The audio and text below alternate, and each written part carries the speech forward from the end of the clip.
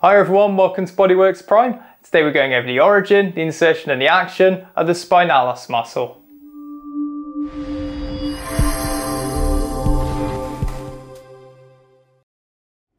Pictured here you can see the spinalis muscle or the spinalis muscle depending on which pronunciation you prefer. My preferred pronunciation is spinalis as I think it makes it easier for people to remember that it's located on the posterior of the spine. The spinalis is comprised of three different sections, and each section has a different name used to describe it. The section highlighted in green here is the spinalis thoracis section. The section highlighted in purple here, that's the spinalis cervicis section. And the section highlighted in yellow here, that's the spinalis capitis. The spinalis is part of a muscle group called the erector spinae, and you can see the spinalis highlighted in green here amongst the other muscles of the erector spinae. The erector spinae muscle which is next to the spinalis is called the longissimus. And the most lateral erector spinae muscle, that's called the iliocostalis. All of the erector spinae muscles each have their individual three sections as well, much like the spinalis does. So that's the reason why there looks like there's quite a lot of muscles here, but it's actually three individual muscles with their own three sections, just like the spinalis. If you'd like to learn more about any of the other erector spinae muscles, I'll put links in the description box below so you can go and see my videos on those as well. Let's take a look at the origin and insertion of the spinalis muscle next. To simplify going over the origins and insertions, I've labelled all of the vertebrae down the right hand side here and I've also numbered all of the ribs on the left hand side. We're also only going to be describing the left hand side of this muscle, but bear in mind any of the origin and insertions are going to be duplicated on the right hand side as well because this muscle is present on both sides of the body. You can now see all of the origin points of this muscle marked in red. The origins with the black outline around them, they're the thoracic section. The origins with the white outline around them, they would be the cervicis section, and the origins with the green outline around them, they would be the capitis section. And you can see those origins on top of the muscle now, so that you can better understand where they relate to in terms of each section of the muscle. So let's describe where these origin points are, and we'll start by going over the thoracic section here, and it's going to be on the spinous processes of vertebrae T11 to L2.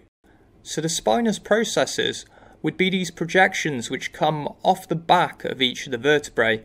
So the ones off the side here, they would be the transverse processes, and the projections that come off the back, they would be the spinous processes. So the spinous processes would be the little bumps which you can feel down the back of your spine if you were to run your finger down it.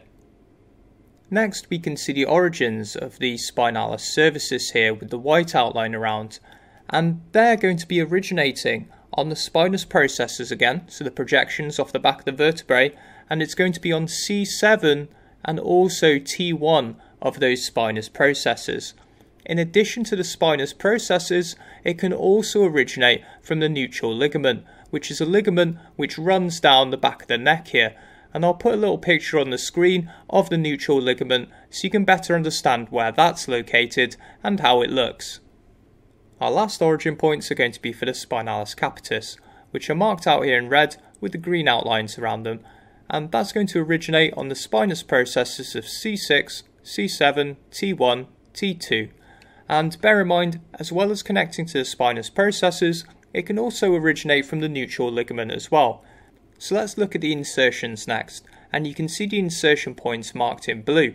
And much like the origins, the black outline is the thoracic section, the white outline is the cervicis section and the green outline, that's the capitis section.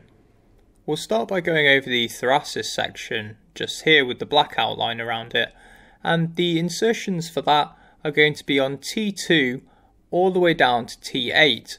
Now you might notice here that this insertion is over where I have T9 labelled, but bear in mind it's the bony projections that come off the back of each of the vertebrae. So if you look at the picture, T8's right here, and the bony projection is what's coming out down to here. So it's actually not on T9, it's on the projection that's coming off the back of T8. Much the same with T2. Up here, it's that bony projection coming off the back of the vertebrae, which is called the spinous process. Moving up to the cervicis section here, you can see those insertion points with the white outline around them, and the insertion points are going to be on the spinous processes of C2 and C3. Our last insertion you can see here with the green outline around it, and that's going to be for the spinalis capitis section, and that's going to insert onto the occiput. The occiput is located on the back of the head, and it's essentially where the skull meets the back of the neck. So let's take a look at the actions next. Now, the actions of the spinalis are going to depend on whether just one side of the muscle contracts or both sides contract together.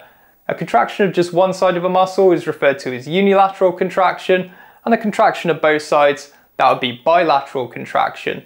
So we'll start off by taking a look at bilateral contraction of this muscle first, but I want you to bear in mind that the spinalis is covering the cervical vertebrae and the thoracic vertebrae, its lowest origin point is L2, so it's not really covering much of the lumbar vertebrae. So any of these actions which I'm going over right now are going to be limited to mainly the thoracic and the cervical vertebrae. So at the moment my neck and my trunk are in a flex position and as they come backwards like that, that'll be extension of the trunk and extension of the neck. And that's the bilateral action of the spinalis muscle.